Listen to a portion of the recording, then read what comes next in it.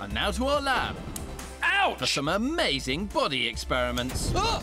Just don't try anything you see here at home. Today it's your friends and mine, body bacteria. Xand, you stink. I know. I haven't washed in three days. What? But why would you do that? Well, Chris, while you have been washing as normal, I haven't. And that's so I could collect samples of the bacteria on my body. And here they are.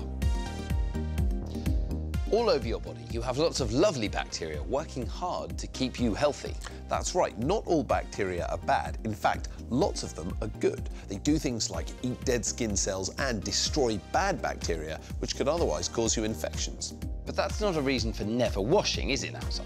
Well, that's true, but I've only not washed for three days, and you're about to find out why. Allow me to introduce my body bacteria. Meet the family. There's John, and he's off to see Anita, who's over there. Uh, hello, Anita. What, how do you even know their names? We live together. They actually feed off my sweat, and as they gobble away, they release a nasty stink. So when I don't wash, more sweat equals more nasty smells. Now, speaking of smells, Smell this cheese. Cheesy. What are you doing now? Smell my foot. Ugh, it's even more cheesy. Exactly. Now that's because some of the bacteria that live on your body are exactly the same kind of bacteria that are used to make cheese. Bacteria are a key part of producing cheese and actually give each variety of cheese its unique smell and flavour. Now, in these three jars, we have bacteria on swabs that Xand's been collecting from different parts of his body. Now we're going to make three varieties of cheese. one from my toe bacteria, one from my armpit bacteria, and one from my belly button bacteria.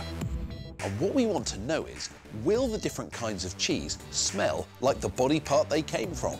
Actually, I'm quite peckish. I'm quite looking forward to this. What's on? You can't eat this cheese. We have no idea what sort of foul bacteria might be lurking in the crevices of your body, and some of them could be dangerous. I suppose you're right. Now don't worry, the bacteria used in the cheese you eat is perfectly safe. Let's get cheese making! And the most important ingredient for my body cheese is my unique body bacteria. Get in there and start making cheese. Because the mix of bacteria on my body is unique to me, my cheese should smell like my body and nobody else's. Like all cheese, Xand's body cheese takes a while to turn solid. Ta-da! Well, here we have it. Operation Ouch Xand brand cheese. Let's see if Chris can guess which part of my body each cheese came from. Now, I'm going to let you in on which one's which, though. Are you ready? Chris can't see what you're reading on the screen right now. Number one, belly button cheese. Number two is armpit cheese. And number three is toe cheese. OK, Chris, let your nose be your guide. Right, number one.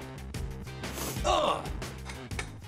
The nastiest cheese I've ever smelled. Okay, let's have a go at number two. It's less strong, that. I think that might be belly button. Do you want a little go? Oh! Okay, number three. Ugh! That is horrendous. That was definitely the strongest, which makes me think three is foot, two is belly button, and one is armpit. Well, Chris, it's the moment of truth.